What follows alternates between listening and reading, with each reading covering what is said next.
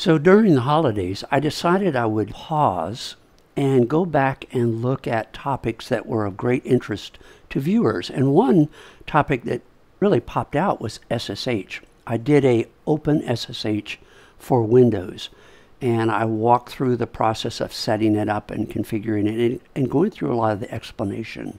Thinking back on that, I realized I just didn't have as deep an understanding of the technology, what was going on, and I wanted to go back and look at that and take a deeper dive. So we're going to do many videos, both very practical. I'm going to do a number of SSH demos on my HP switch. I've got my MikroTik router. I'm going to do that. I'm actually going to do SSH between a Windows PowerShell environment into a Debian Linux box.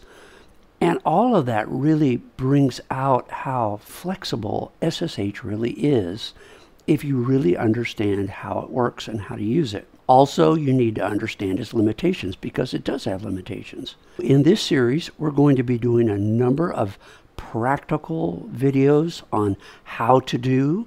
We're also going to do some theoretical overviews and lay some fundamental basic understanding of SSH. Feel like if you'll take a look at this series, you're going to come away how I can effectively use SSH in my work environment.